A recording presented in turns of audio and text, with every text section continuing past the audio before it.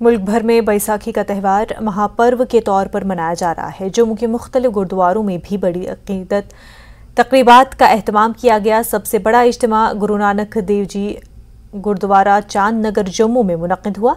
अकीदतमंदों की बड़ी तादाद ने तकरीबात में शिरकत की। गुरबानी और शबद कीर्तन का अहतमाम किया गया। भजन कीर्तन के बाद अकीदतमंदों में लंगर पेश किया गया। सोलह सौ ਨੇ ਜਿਸ ਵਿੱਚ ਦੀ ਸਾਜਿਆ ਸੀ ਤੇ ਸਰ ਗੁਰੂ ਗ੍ਰੰਥ ਸਾਹਿਬ ਜੀ ਸਿਰਫ ਇਹੀ ਹੁਕਮ ਹੈ ਕਿ ਅਵਲ ਅੱਲਾਹ ਨੂਰ ਪਾਇਆ ਕੁਦਰਤ ਕੇ ਸਭ ਬੰਦੇ ਇੱਕ ਨੂਰ ਤੇ ਸਭ ਜਗ ਉੱਠਿਆ ਕੌਣ ਭਲੇ ਕੌਣ ਮੰਦੇ ਸਾਰੀ ਸੰਗਤ ਨੂੰ ਜੰਮੂ ਕਸ਼ਮੀਰ ਦੇ ਦੁਨੀਆ ਨੂੰ ਮੈਂ ਸਭ ਨੂੰ ਵਧਾਈ ਦੇਣਾ ਇਸ ਦਿਵਸ ਦੀ ਖਾਲਸਾ ਦਿਵਸ ਦੀ ਸਾਰਿਆਂ ਨੂੰ ਵਧਾਈ ਤੇ ਭਾਈਚਾਰੇ ਦਾ ਅਮਨ ਦਾ ਦਿਨ ਹੈ ਖੁਸ਼ੀ ਦਾ ਦਿਨ ਹੈ ਤੇ ਸਾਰੇ ਇਹਨੂੰ ਰਲ ਮਿਲ ਕੇ ਮਨਾ ਰਹੇ ਸਭ ਨੂੰ ਬਹੁਤ ਬਹੁਤ ਵਧਾਈਆਂ। ਸਿੱਖ ਪੰਥ ਲਈ ਇਸ ਤੋਂ ਵੱਡਾ ਖੁਸ਼ੀ ਦਾ ਦਿਨ ਹੋਰ ਕੋਈ ਨਹੀਂ। ਜਿਸ ਦਿਨ ਦਾ ਅਸੀਂ ਕਹੀਏ ਬਰਥਡੇ ਆ, ਅੱਜ ਖਾਲਸੇ ਦਾ ਬਰਥਡੇ ਆ, ਸਾਰੀ ਲੁਕਾਈ ਨੂੰ, ਸਾਰੀ ਸਿੱਖ ਜਗਤ ਨੂੰ, ਜਿੱਥੇ ਜਿੱਥੇ ਸਿੱਖ, ਗੁਰੂ ਨਾਨਕ ਲੈਵਲ ਨਾਲ ਸਿੱਖ ਰਹੇ ਹਨ ਉਹਨਾਂ ਨੂੰ ਵਿਸਾਖੀ ਦੀਆਂ ਬੈਸਾਖੀ इस मौके पर अनंतनाग के मुख्तलि मकाम पर तकरीबा का अहतमाम हुआ। यहाँ पर सबसे बड़ी तकरीब तारीखी गुरुद्वारा मटन साहब में हुई, जहाँ पर सिख बरदरी की एक बड़ी तादाद ने शिरकत की और कीर्तन में हिस्सा लिया। मकामी मुसलमानों और कश्मीरी पंडितों ने भी त्यौहार में शिरकत की और सिख बरदरी को मुबारकबाद पेश की। इस मौके पर मजहबी भाईचारे को कायम रखने का पैगाम दिया गया। कश्मीर में क्याम अमन तरक्की और भाईचारे को हमेशा बहाल रखने के लिए तीनों फिरकों के लोगों ने मिलकर दुआएँ की। वाज रहे कि मटन में गुरु नानक देव जी ने अपने सफ़र के दौरान कई रोज तक क्याम किया है और सिख अकीदे के मुताबिक इसी जगह पर आज का गुरुद्वारा कायम है जो कि तारीखी एतबार से काफ़ी अहमियत का हामिल है। गुरुद्वारे में इस दौरान का भी अहतमाम किया गया। यहाँ पर गुरु नानक पातशाह ने अपने चरण डाले हैं और इस स्थान पर हम ये जो बैसाखी का पूर्व है, ये हर साल मनाते हैं, बड़े जोश और खरोश से।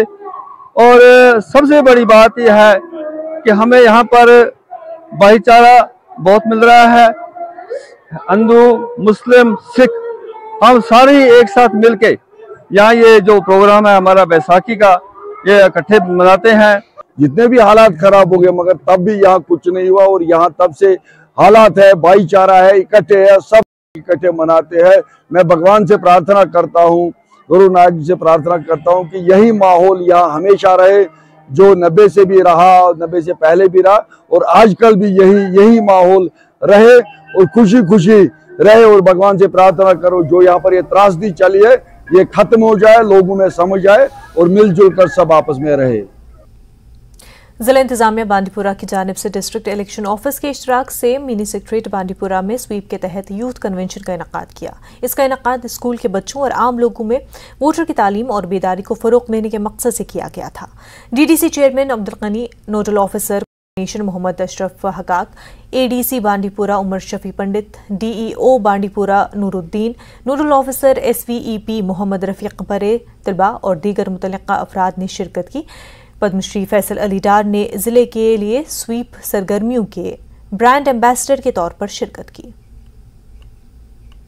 देखिए स्वीप के चलते आप जानते हैं स्पेशल सेफ्टी डिवीज़न यहाँ पे चल रहा है और हमारा जो फ़र्स्ट अप्रैल 2023 क्वालिफाइंग डेट है आ, उस पर जो हमारे वोटर्स हैं उनको एनरोल किया जा रहा है। तो हमारे बी हाउस टू हाउस जाके स्पेशल कैंप्स लगा के और हमने भी बहुत सारी एक्टिविटीज़ की आ, वो वुलर के किनारे की वो साइकिल एक्टिविटी की सुंबल में अलग अलग एक्टिविटीज़ कर रहे हैं जिससे को अवेयरनेस दे रहे हैं कि एक तो अपने आप को एज वोटर एनरोल करें, दूसरा जो ये वोटिंग है उनका राइट है और क्या फ़ायदे हैं और जो पब्लिक रिप्रेजेंटेटिव जो इनसे चुन के आते हैं इनके वोट से